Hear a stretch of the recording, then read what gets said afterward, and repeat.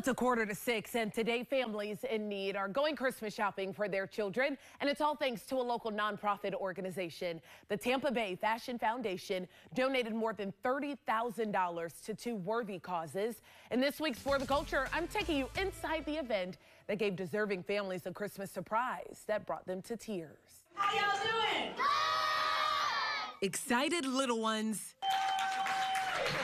and grateful parents all filled United Skates Tampa for one unforgettable night. Congratulations. Tanika Bowles, founder and CEO of the Tampa Bay Fashion Foundation, and her team, they partnered with Gentlemen's Quest of Tampa and Manifestation School of Innovation and Learning donating over $30,000 to the families they serve. At our company that produces fashion shows around Tampa, Giving is always in style. So we knew that we were going to be doing something in our community, and we just happened across this Gentleman's Quest, this very worthy cause that supports young African American men in the community. Woo! Here's the thing. It was all a surprise. Families in both programs filled out applications explaining what they were in need of. After that, they were told to come to United Skates for a family fun night, and that's where 11 families found out they were receiving either $5,000, $2,000, or $1,000. A total of $25,000. Sometimes people in the community are sometimes in shock that this type of thing happens because you see it happen on TV, but people don't always expect it to happen for them. Antonisha Joyner.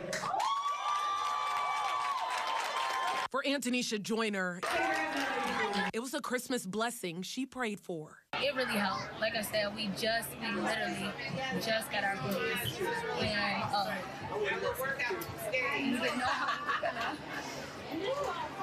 No Christmas for my kids because bills, just winning. It's just, it means so much to not even me, the kids.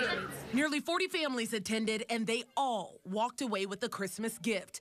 This Christmas tree was filled with $200, $500, and $1,000 gift cards, totaling nearly $10,000. We have families that don't have cars, that are behind in their rent, behind in their electricity bill, and to see them break in tears um, allowed me to break in tears.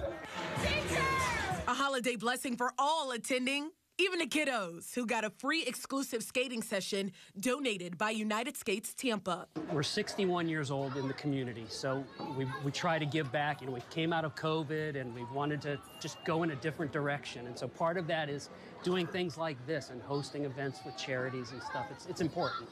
Important to the organization and the families.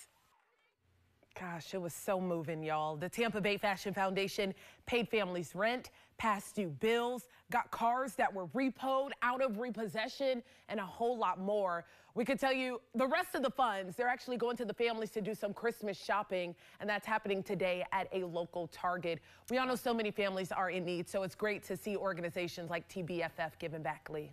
Certainly. Everybody came together for that, and what a beautiful, beautiful experience.